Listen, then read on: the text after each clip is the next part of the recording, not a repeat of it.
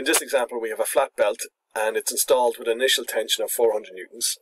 We're told the coefficient of friction between the belt and the pulley is 0.3 and the lap angle on the smaller pulley is 165 degrees. The smaller pulley has a diameter of 100 millimeters and rotates at 600 rpm. Determine the maximum power which can, the belt can transmit if it is assumed to have a negligible mass.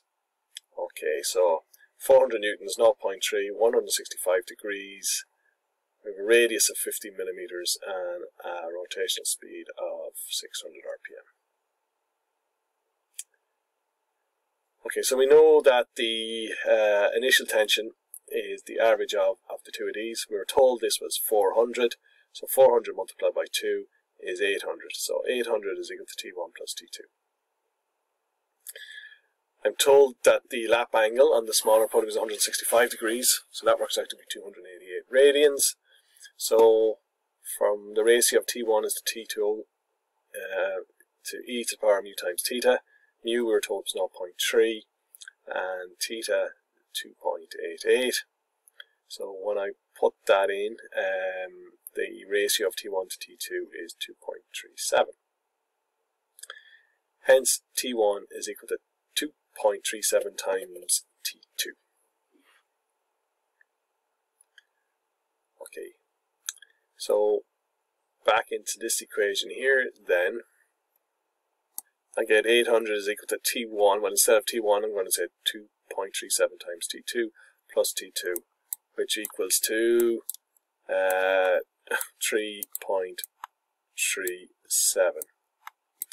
T2.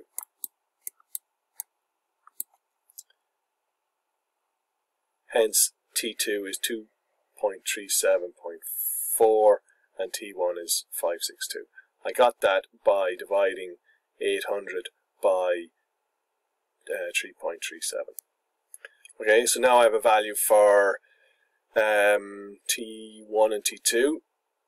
I have the power equation, so I have T1 there, and I have T2.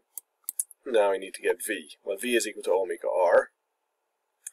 And omega, we were told it, it was uh, 600 revs per minute. So brings that to revolutions per second, divide by 60, then multiply by 2 pi to bring it to radians. And the diameter was 100 millimeters, so that means the radius is uh, um, 50 millimeters. And when I multiply that all out, I get 1.02 kilowatts.